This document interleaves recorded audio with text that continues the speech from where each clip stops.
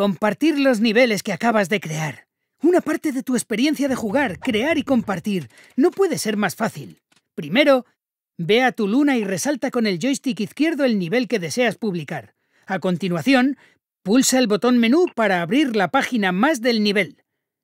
Una vez abierta, puedes mover el joystick izquierdo para resaltar la opción Nombre del nivel.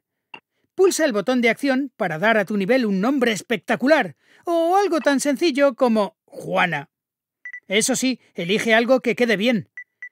A continuación, usa el joystick izquierdo para seleccionar la opción Insignia del nivel y pulsa el botón de acción. Puedes elegir cualquier pegatina que hayas obtenido o creado para ayudarte a representar visualmente el nivel ante el cielo de las imágenes. Resuelto esto, utiliza el joystick izquierdo para desplazarte hacia abajo, hasta la opción Rótulos. Selecciónala con el botón de acción y elige entre una multitud de rótulos que describan rápidamente la clase de nivel que has creado. Puedes seleccionar hasta cinco rótulos a la vez mediante el botón de acción, así que elige con cuidado.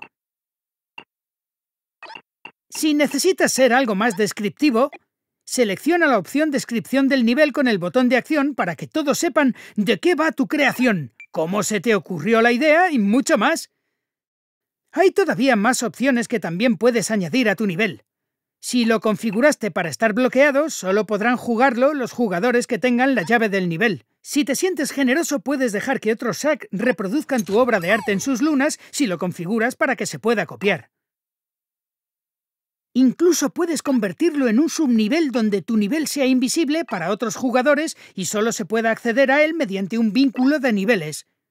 Cuando acabes, selecciona Publicar con el botón de acción y regresarás a tu tierra donde podrás utilizar el joystick izquierdo para poner tu obra de arte en el lugar perfecto. Pégala con el botón de acción.